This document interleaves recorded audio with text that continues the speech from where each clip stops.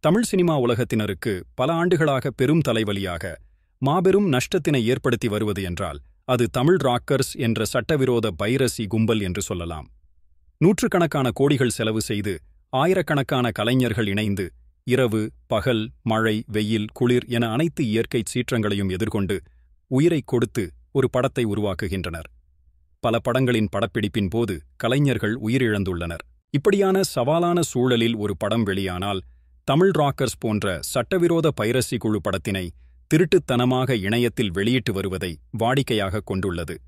தற்போது தனுஷ் நடிப்பில் வெளியாகியுள்ள ராயன் படத்தினை கேரளாவின் திருவனந்தபுரம் பகுதியில் உள்ள ஒரு திரையரங்கில் தனது மொபைல் போனில் ரெக்கார்ட் செய்து கொண்டிருந்த தமிழ் ராக்கர்ஸைச் சேர்ந்த ஒருவரை சைபர் கிரைம் காவல்துறை செய்துள்ளது.